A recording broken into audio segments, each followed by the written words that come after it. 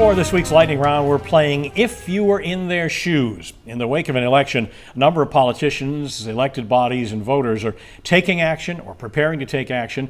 We're going to look at a few of those that are happening and ask our analysts to put themselves in the shoes of the decision maker and say what they would do. So, up first, during his campaign, President Trump made clear his strong objections to offshore wind and has indicated he wants to kill these projects. But the Maine legislature has made clear its strong support for offshore wind and has initiated a proposal off the midcoast.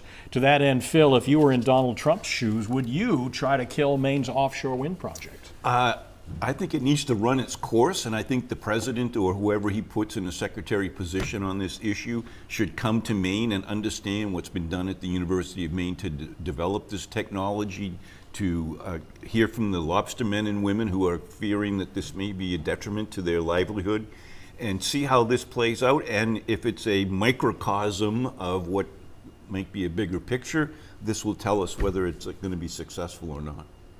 That's a very rational thing for Donald Trump to do, which I can't imagine he would do. But okay. how many fights he yeah. wants to pick, maybe exactly. Once, yeah. You know. I, I, mean, look, to the winner goes the spoils. I understand that, and the president obviously was elected with a mandate, with a majority, and gets to move forward their agenda. But you know, from an environmental perspective and from a respecting of states' rights around regulating uh, our own renewable energy. Donald Trump should stand down if he wants to try to stop new stuff that's coming down the line, et cetera, because of his ideology. Okay, that's his prerogative, but he should let this stand. Issue two is a rather unusual one. A constituent reposted the anti trans comments that a recently elected Winslow Town Councilor had written on social media. That councilor elect, Doris LaBranch, then posted a cease and desist order against the constituent because she said her comments were being posted out of context. So, Ethan, if you were in this, uh, this councilor elect's shoes, would you threaten legal action against a constituent in this way? I would be in court every day of my life if I wanted cease and desist orders against people who post things that I don't like or that you know even say things that are wrong about me. So yeah, just a very bad move. You know, uh, the comments that the councilor elect made were very unfortunate. They had a trans city manager who has now resigned right. because she was very concerned about this councilor and others coming in. So that's tragic.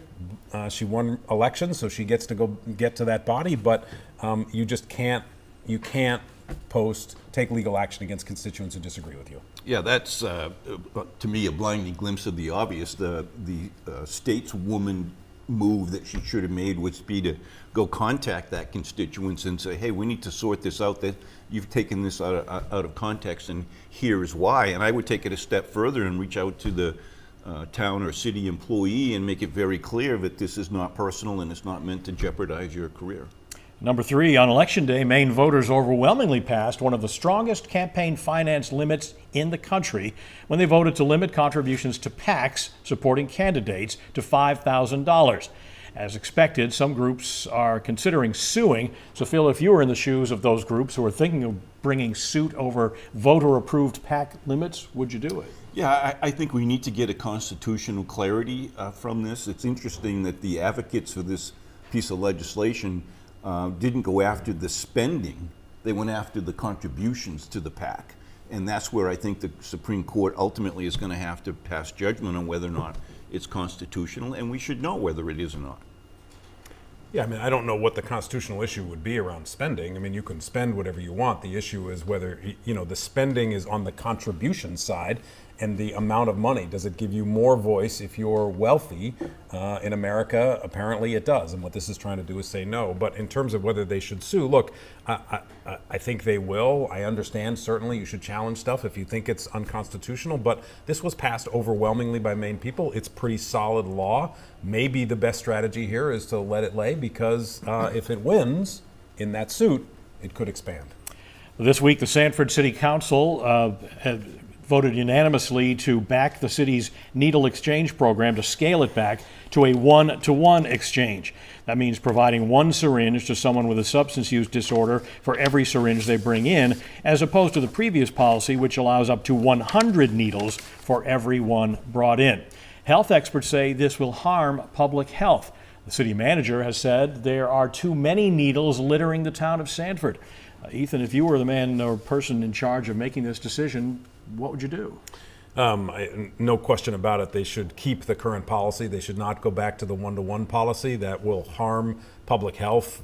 The documentation around that is very clear in terms of infectious disease, in terms of folks who have substance use disorders not getting help. When you have a needle exchange program like this, more people get help. They get the counseling they need because they're engaged in it.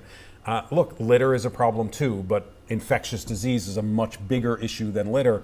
But there are other ways to deal with the litter. Put out more canisters where people can throw these away. Portland did something brilliant. They've created a, a program where if you bring needles in, you actually get paid five cents per needle that you bring in.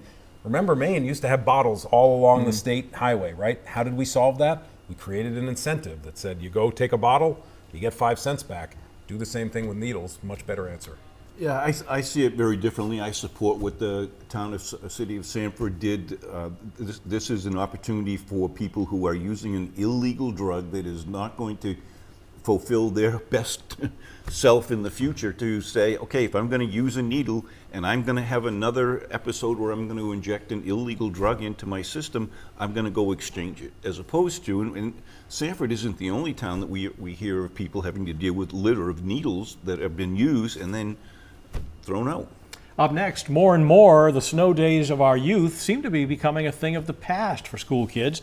Some school districts in Maine are looking to implement remote learning days when a snow day can be predicted in time. Phil, if you were the school superintendent for Yarmouth, would you have kids going to school virtually on snow days? Sure, I think this is a, this is one of those uh, phenomenons of technology that enables our students to get the education within the the you know the schedule that was planned, so that they're not having to spend more days in June in the classroom because they had days off in February. Yes. Ethan? Oh, come on, Phil. He's the sentimentalist here. Yeah, let the kids be free. Snow days. An Look, unexpected day I know. off. I grew up in New York. We never got snow days. What is a snow day? But they're just awesome, right? I mean, when you have a snow day and kids get to go free. Look, I know it's hard on parents. I know all that, but uh, you can just have extra days in the spring. But there is an educational piece to this too. Remote learning is not as good as in the classroom learning. So we know that from COVID. And we need to learn that if we're going to go to remote learning, it's got to be better because those kids are losing some educational value. But I say let the kids have their snow days. Look, I'm the traditionalist and he's like the modernist now. who, who would have guessed? Who would have guessed? Up la- last in our uh, lightning round, President Trump is demanding that Senate Republicans not attempt to block recess appointments to his cabinet. That would give him the power to temporarily appoint people when the Senate is in recess, which in turn allows him to bypass the confirmation process, which can get sticky. The Senate would then have to confirm or oppose the nominee within a year. So, Ethan, if you were in Senator Susan Collins' shoes, the Republican in the, major- in the majority now, would you grant the president's request? Um, I, I wouldn't. I mean, uh, Collins doesn't really have the ability to grant it or not grant it. Um, I, I don't think it's a good idea. I, I do say, though, at some level, recess appointments are an important thing, but they should be used infrequently. The Senate needs to step up and take up their authority. You know, uh, we've been talking about is Donald Trump going to try to exercise um, a, a much stronger executive branch? Is this going to start verging into an area we're not comfortable with? I think this is a good example of how he's going to try to do it, trying to pressure the U.S. Senate to not do its job, at least uh, in the short term. So I, I look at it, Uh, same result, but a little differently in, in terms of approach. This is an opportunity for the Senate to once again begin to do what their constitutional responsibilities are, which in this case is to advise and consent on nominations.